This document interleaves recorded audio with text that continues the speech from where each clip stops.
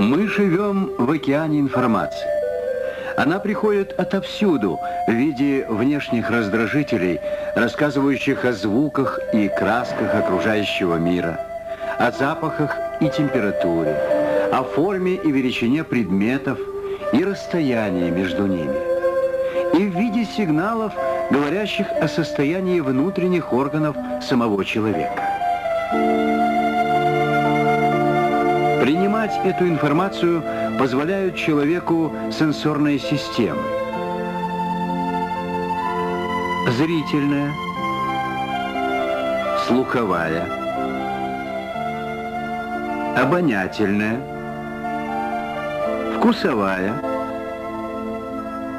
кожно-мышечная.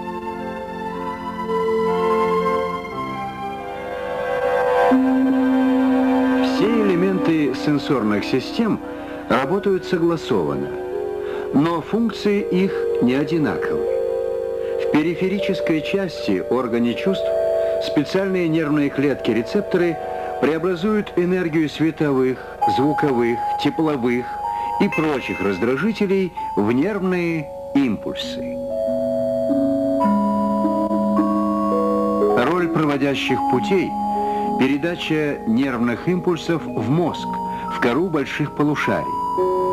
В центральной нервной системе информация обрабатывается, и в зависимости от нее возникает реакция организма, соответствующая изменениям внешней среды.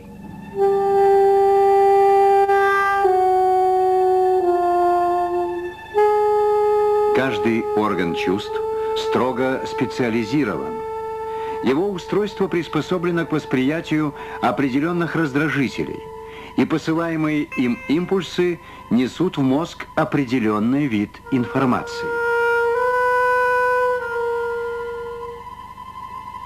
Но зато к своим стимулам рецепторы этого органа чрезвычайно чувствительны. Рецепторы глаза, например, могут воспринимать единичный фотон света –